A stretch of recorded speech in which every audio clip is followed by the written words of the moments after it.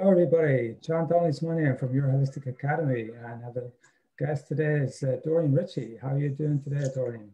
Hi, John. Thanks very much for inviting me. Nice to see you. It's lovely to have you on, Doreen. And uh, you're up in Belfast. We met a couple of months ago in Belfast. That's right. Whenever you were up doing green screen stuff and yeah, interesting yeah. things like that. Yeah, we had a great conversation, John. great chat, yeah. And we, we were talking about uh, your life coaching business. So mm-hmm how you got involved and how you got into life coaching? So, John, my whole background is business and finance. Um, and basically, I spent 25 years in companies, you know, in all the different sectors. Ended up in the public sector for 11 or 12 years there. And um, sort of always in a senior position of management, always did, you know, I was always bringing my teams on. I was always working a lot under pressure um, and always in finance. So basically, a lot of pressure, a lot of deadlines, and so on, and trying to get the best out of people. Um, and then I realized one day, basically, well, lots of other things happened, but then I realized one day, basically, you know, I don't like the corporate world anymore. Um, basically, it wasn't doing anything for me anymore. And um, I thought, you know what, I'm just going to leave. So I did. And I took a year to decide what I wanted to do. And um, I decided that I really, having had a life experience of lots of things happening to me and coming out of it and coming through it myself with no help, if you know what I mean. Um, what I really wanted to do was help other people get through things like that, but with help. Do you know what I mean? That they, they could come to me and I, you know, yeah, uh, would coach them. So um, I then went and trained as a life coach. I'm an accredited life coach. You know, it's exams and modules, and yeah. uh, had to do like a coaching session live in front of a, a video and then that was marked and all this, you know. So I mean it was, you know, you get people now to say they're life coaches that just set themselves up. Yeah. Um, and they've no qualifications at all, but mine's on the on the the wall there. But um yeah absolutely so then i um and then i set up nearby here uh, in a wellness center where which i was managing at the time and um did a whole lot of hours free, you know, for about three months, and then um, set up my my practice. So yeah, and um, yeah, you know, I help people change their lives and. Yeah. So now you go back into the corporate world and coach the people. Yes, uh-huh. That's uh, one one thing I do. You know, I also do just one on one of anybody, but I'm actually trying to progress more into that because I've done talks, I've done workshops, and um, for the for the enterprise zones, for example, that was all just taking off before March. There, um, I was I had been appeared in most of the enterprise zones around Belfast and one down Downpatrick, um, and I had ends the others, and then everything closed down. If you know what I mean. So I've done a few on Zoom for like a recruitment agency for NSPCC and so on, um, and those were um, on Zoom during the lockdown basically because you know they wanted to do something for their people to keep them you yeah, know on sure. board and everything during the yeah sure. yeah. One of the things that i'm fascinated about Doreen is the corporate structures and where all that stress comes from in the corporate world. Yeah. That's one of the things that fascinates me. And uh, is is there a sort of a is there an argument that the corporate structures are what causes the stress? Yes, well, a lot of them do exactly because there's no communication downwards most yeah. of the communication, certainly from like I'm looking at it from a finance point of view, but also of course I've experience of other departments and things. Everything is up towards senior management and directors and trustees and everything. Yeah. There's not much that comes down. You know, it's like you just do what you're told, you do your work, you meet the deadline, you get me the stuff that I want on time. And you know what? I don't really care how you do it. Yeah. You know, I, first of all, half of them don't even know what you have to do to do it you know, they don't know the time it takes. We've got unrealistic deadlines being set for people. Yeah. We've got unrealistic job descriptions, or you have a job description and actually you're doing something completely different, or you're expected to do more than in your job description. And that for people on the ground is extremely stressful, very yeah. stressful. It's yeah. the uncertainty of maybe not knowing exactly what's expected of them. It's the uncertainty of are they going to be blamed?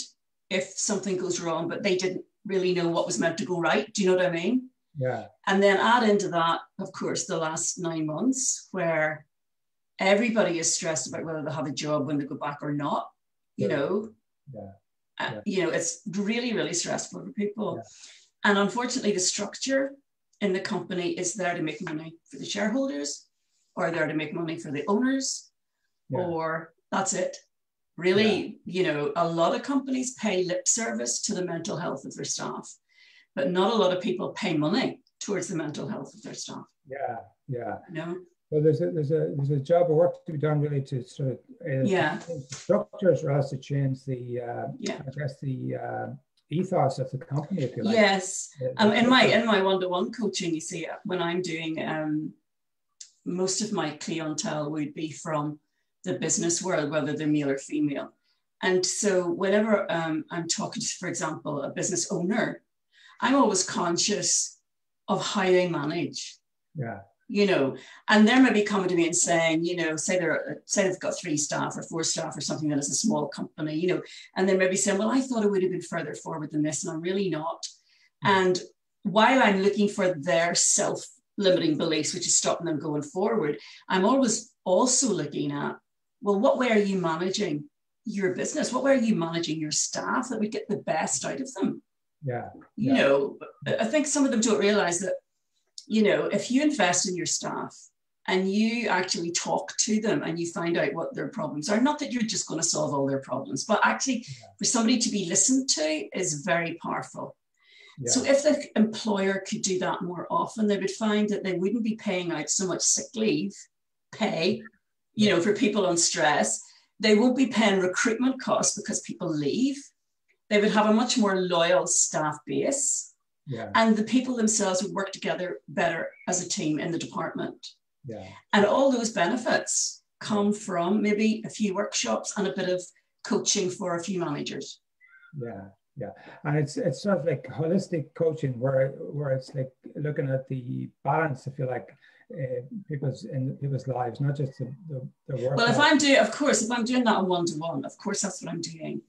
If I'm doing it for a company, it's to do with what the company sees as the need, yeah. right? And I would be responsible to the company. However, within that, it would be whoever was being coached would be totally confidential, if you know what I mean. But they tend to like workshops for maybe eight people, 10 people. And that can be a big, big help you know, we go through exercises as, you know, how, how would you feel? How would you work with this person? Yeah. How to work with difficult people, for example. Yeah. You know, how to de-stress yourself, you know. Yeah, sure, yeah. I mean, I mean, a deadline is just, it's just a focus on a time and a date for you to have something done. Now, you turn that into stress. It may well, you know, the whole thing is, oh, this is very stressful. I've got all these deadlines. Well, they're not really stressful. There might be a pressure but you're this what you're the one who turns it into stress whenever you whatever you think about it your narrative what's your narrative you know is your narrative oh god if i don't meet that deadline the boss is going to shout at me is that the climate is that the culture of the organization yeah. you know what i mean if the culture is oh well you know if you don't meet the deadline well we can talk about it or something it's whatever you're telling yourself about the stressor outside you that causes the stress inside you yeah. You cause the stress yourself. You know, you're the one who's telling yourself the story. Yeah. So what I teach is every it's from the inside out. You experience life from the inside out. Reality is what you make it inside. So it's a switch in mindset, really. Yes, it's completely it's completely the opposite of the way we've been brought up. We've been brought up to believe something happens there and you feel like this and that's perfectly okay. It caused it. It didn't cause it. You know, otherwise the same set of circumstances would cause the same sorts of feelings in everybody. And that's not the case because two people can be in the same set of circumstances and feel entirely different. Yeah. It's what you're you bring to your perception of reality. You bring your beliefs, the meanings that you put on things, and your own self-limiting beliefs. And whenever you're looking at something, the reality that you're experiencing is your perception and the meaning that you put on it. So the story you're telling yourself about something, you know, yeah. um, or from the past, because you know people could have traumatic experiences in the past, and it affects people having the same traumatic experience. It affects them totally differently because they're telling themselves a different. Narrative about what happened. Yeah, and it's like even to, even today during the, the current situation out there uh, with with COVID, I mean, people, some people are moving ahead incredibly with their lives, and other people Absolutely. are, Yeah. sort of caught in, in a sort of a frenzy or a, fear. Yes, yes, Again, it's the story. uh, It's really, that's right. Yeah, What yeah. story are you accepting? Yes, and a lot of people, of course, uncertainty is it's uncertain. It's you know you're insecure about it. So Yeah. fear is just insecure thinking. So when you see uncertainty and you have this insecure thinking, uh, because your security comes from yourself, it doesn't come from outside. You then have all this worry, you have fears, and you're like paralyzed. You don't know how to go forward. Yeah, But someone who um, is secure in themselves, is secure in their own capabilities, because I believe we all have innate capabilities for wisdom, courage, resilience, and strength, and so on. Yeah. If a person believes that about themselves, then they enter sort of a state of self confidence. Self confidence is just a state that you're in when you believe in yourself and you trust yourself. So they trust that they'll know what to do. So they don't know what's going to happen because life is uncertain, always was yeah. but they know they'll be able to cope no matter ha- what happens. And that's the difference. Yeah. Somebody who's fearful doesn't know that. You can actually embrace the uncertainty and, and Absolutely. And see it as an opportunity. almost even welcome it, if you like, uh, and and know that it's it's it's going to be there anyway. Yeah, exactly. You know, you can't you can't control what's going to happen, but you certainly can control your attitude towards it. Yeah, You can certainly control what you're telling yourself about it. I mean, I've been coaching people who have just been made redundant Yeah. during our coaching, you know, and they say, well, before I would have been absolutely horrified and being so upset and everything else. And now I'm thinking, well, isn't that great? I'm going to get an amount of money in August or whatever it is. And you know what? I'm going to start that business that I always wanted to have. yeah, And they're looking at it from a completely different mindset of, I can do this. I trust in myself. I'm confident. yeah. And I know that, you know, your creativity, once you've got control, your creativity starts coming out. sure, yeah, And look at all the beautiful creative projects that people have done during lockdown that they Yeah. never would have undertaken before. but never never would have started. Yeah. No. So that uh, those uh, changes were, were sort of necessary. So I was just want, uh, want to ask you about your success rate, or you say on your website that you've got a hundred percent success rate with your one-to-one clients. Well, that's correct because there's nobody, so far as I can remember, that I've coached who did not change. Yeah. Now, of course, it doesn't mean everybody's now a millionaire or something like that. For example, I had one girl who was so frightened of going outside and so nervous, she couldn't actually go to work anymore. She was having panic attacks in the car. Uh, she had to, you know, lock windows and doors 40 times before she left the house. Now, her, nor her, her big transformation is being able to go to work. But if I said that to somebody else, they'd say, well, that wasn't a success. Yeah. But actually, that totally changed her life yeah, you know, and yet other people have totally transformed their lives in as much as they've left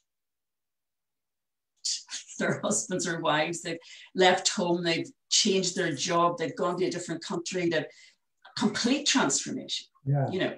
So it just depends what what is it that they want to do. But everybody, everybody without exception has changed in some way.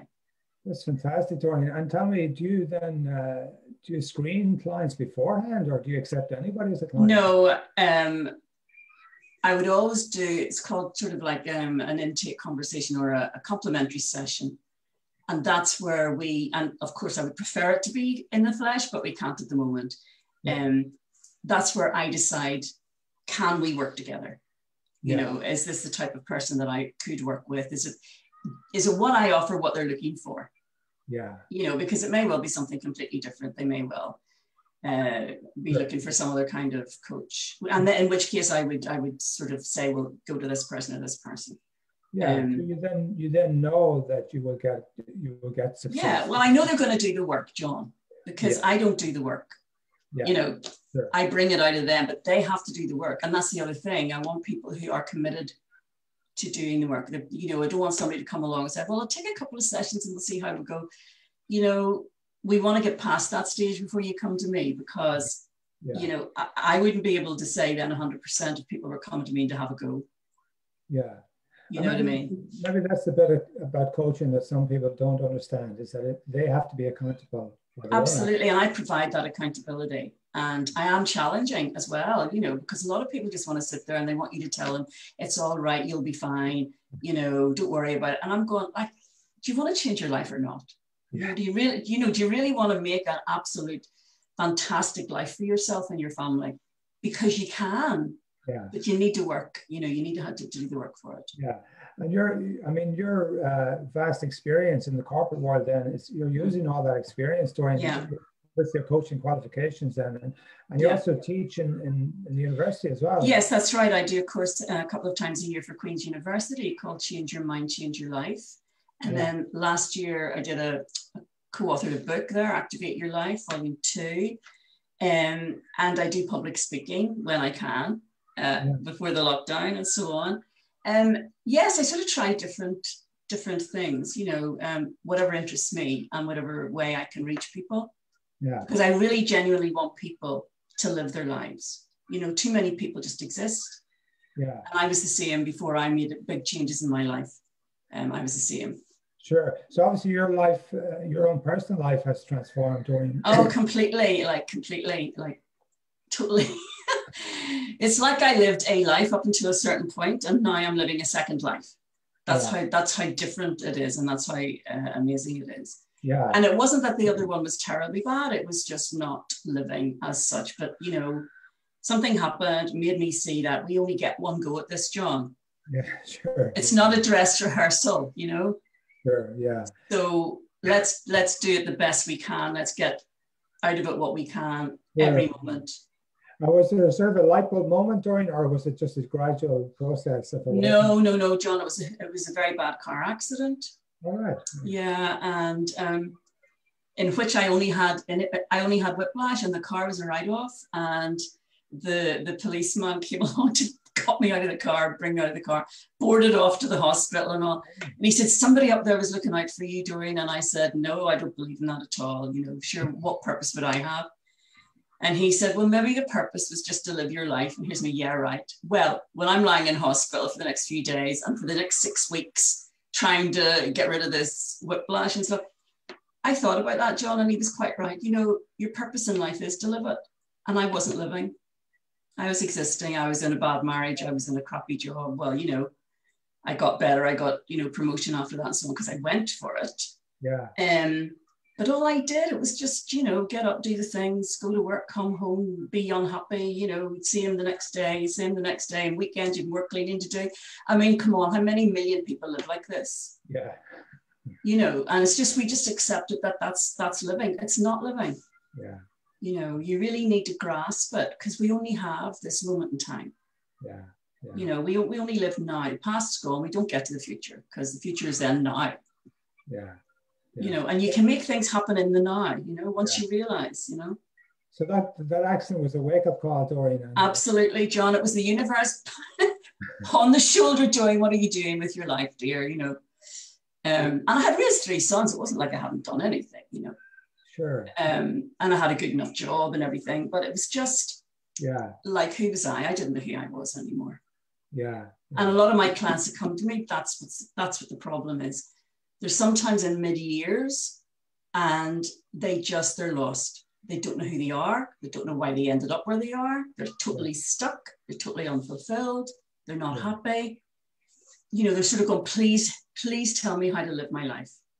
Sure. Yeah. You know, and and that's what coaching does for them. Yeah. So that uh, so that coaching journey then, Doreen. I mean, I, I guess when, whenever that happened to you, you sort of went looking for answers then as to Yes, I did, and I and I did a lot of self development, personal self development um, over the next couple of years. Divorced my husband, um, that was part of it, I'm afraid, John, and um, lived on my own for a couple of years, and then basically started going out to connect with people again, um, because I knew who I was then, and gradually knew better and better as the years went on, um, and then decided to leave the corporate world and do something completely different. Moved house, moved in with a, a partner, and so on totally, totally, totally something I had never thought of doing, you know, never thought of starting another life or relationship or anything like that, you know. And it just happens whenever you're open to opportunity. Yeah, but it's also a very courageous thing to do, just to leave to leave your some that I guess you had Everything. security, even though it was, even though you maybe not have enjoyed it, it was you still had some security. Well, I had the rent coming from the house. That's what I and then I temped, you know, who- who's proud? I, I wasn't, it was like, you know, I didn't care as long as I could pay the bills, as long as I was able to do what I wanted to do every day. Prepared to do whatever whatever it takes, then, whatever it takes to make the make the change. Yeah. Yeah, and also working on myself internally. You know, I did work just because I qualified as a coach. I've done a, another course every year since I've done that, and I spent thousands, you know, on on improving my my own coaching technique and so on, and that has changed me a lot as well. Yeah. So you mentioned earlier, Doreen, it's about inside out. Yeah. So that's yeah that's... It's based on the three P's, um, the three principles of um, mind, consciousness, and thought. It's just it's looking at things to realize that the reality that you're you're thinking you're living in is your own reality. It's a personal reality. Everybody, 7.8 billion people or whatever, are walking around in their own reality because your reality depends on your perception and meaning of the world, and that is what is in part programmed into you when you were small your experiences and so on programmed more. And we're all creatures of habit. 90% of what we do is habitual. Hmm. 90% of what we think is somebody else's opinion. Yeah. So whenever you start questioning the thoughts in your head about things about yourself, about your beliefs, yeah. that's whenever you start to find out who actually you are, that it isn't that you're not just going by what somebody has told you. Yeah. Yeah. You know, and that's when you start to become who you really are. Yeah. It reminded me of the film The Matrix there, Doreen, where unplug. you, need, you, need, you need to unplug from the Matrix. Yeah? Honestly, it's like that. You know, it is like that. It is like that. You know, you, I'm sure everybody has actually said something to their children and they've heard their mother or their father saying it. Yeah. It's in them. You're programmed. You can't help it. You're a sponge until the age of seven or eight. Yeah. You're just, you don't have any analytic brain. So you just absorb the cultures and the norms of your family and the society that you're in. Yeah. And you take it with you as reality. But it's not reality. Yeah. Until you until you find something uh, until you question that thought, is that what you still think? You know, do you still think you're no good at such a thing? Yeah. Do you still think you're not, you know, you're successful, but do you still think you're not good enough? Do you still think you're not going to be successful? Yeah. You know, um, yeah. Do you still think you're not attractive? Do you still think you're not lovable? Well, no, hang on a wee minute. Where's the evidence for that now? You know, actually yeah. now lots of people love you. Actually yeah. now you've got loads of friends. So why do you keep telling yourself you're not lovable? Yeah, sure. All these self-limiting beliefs that you bring with you that aren't true anymore or that you can change because it's just a thought. Yeah. So you're basically uh, create, you sort of help your clients to create a new story for themselves. Yes, right? absolutely, absolutely. And just even even getting them to realize that they can, that it is just a story, is like a complete revelation to most people. Yeah, sure. you know, what I can actually, you know, yes, it's just a thought. Change the thought. Now, how do you feel? You feel better? So hold that thought. Yeah. Choose that attitude this time, next time, whatever, you know? Oh, yeah, yeah. So you love your life now, Doreen. I mean, you, you, you come across as so passionate about what you do. Oh yes, I do. You know what I really do, John? And I um obviously during lockdown the business has slowed down a lot, but I'm hoping when when we go out again at the other end, um, that it'll pick up. But to be honest, as long as I'm doing something every day that I love, yeah, yeah, that's that's me. Sure. You know, and uh, you do a lot of networking, Doreen. You, you, obviously love people and you love connecting with. Yeah, people. I love connecting, and I love um, I love telling people things like this. Yeah, I love telling them because because they haven't thought about it before, you yeah. know, and then they sort of think, and then they go away and think about it, and then they'll maybe come back a month later and say to me, "Tell me that again," because it was really weird, and I just I just thought about that the other day, and I felt a lot better about something. And you go, "That's brilliant," and I'm not. They're not paying me. It's like you're just talking. You know, it's conversations, John, isn't it? It's always getting into conversation with people yeah. and connecting.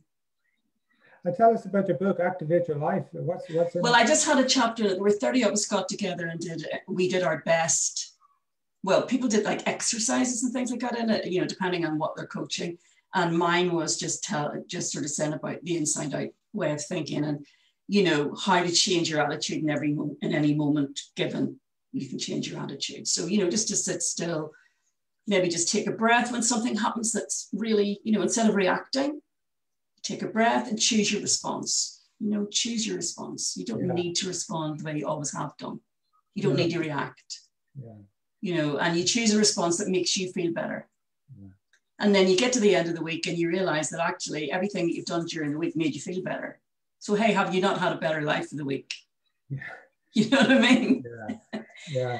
It's uh, it's common sense a lot of it too Doreen. yeah and then whenever you're choosing to see whenever you're choosing to feel better and you're more optimistic you become calmer you're more creative you make better decisions in your business as well. You take different actions and your actions are your experience of life. Mm. so you're physically creating a different life from how you think. Yeah. You know thoughts become things and it's true. Yeah but you're also a financial coach as well.